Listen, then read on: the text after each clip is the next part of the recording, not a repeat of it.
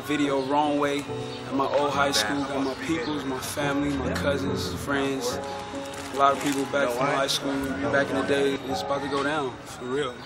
Wrong way is necessary because I was in a position as a young man where I had to decommit and go the opposite way of what everybody else was doing around me, which was gang banging, you know, dope slanging, all that stuff. But I know it's a lot of young men out there right now who are contemplating if they should commit, if they should be in that life. But at the end of the day, don't do it if it's not for you. I mean, I don't think it's for nobody personally because it's just tearing a lot of people down around us. But like, have that courage and like get a hold of yourself and, and make that choice. You know what I'm saying? Here at my old high school, it, it's been even crazy situations. I mean, where I'm with my football team in the front of the school, we chilling.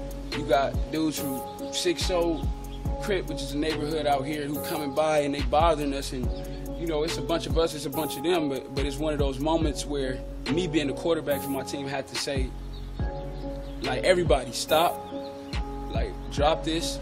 As far as my team, I had to tell them we got a game in a couple days. We got certain things we got to look forward to, and that's just you know many temptations where it's like I could do this. I can get down with these dudes right now. I can fight them. I can get in trouble. It really just came down to like I don't even want to get into something that's not beneficial for my life. So everything is just about making choices that's going to complement your next move in life. You know what I'm saying? Like everything has to be thought of for the future. It's not really about right now. So that one move could have led me in jail. It could have put me. I could have somebody jaw could have got broke. Anything could have happened. Somebody could have put out a gun and and then what? The the football team is is in a game battle it just don't look right and it's never gonna be the right outcome. So only the strong survive, man. You know what I'm saying? You got niggas who fold, niggas who told, man.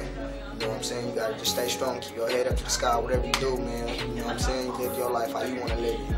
Just seeing like everything around me, seeing my surroundings, environment, and how like niggas is getting shot every day. Like I had cousins and they had homies, and, you know, and I was like watching them basically, just, you know, just realizing like what's right and what's wrong. But yeah, that's just my little two cents on how I feel and how I got here. You know what I mean? Keep prospering, keep making them right choices. Man, I had to go the long way. Long way. Yeah, I had to go the long way. Long way. Niggas all around me gang bang, dope slang, so I had to go my own way.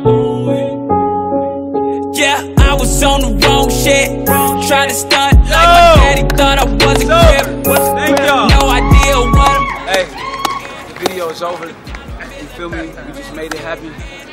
Wrong way coming to you soon, live and direct, right here from Slauson and Crenshaw.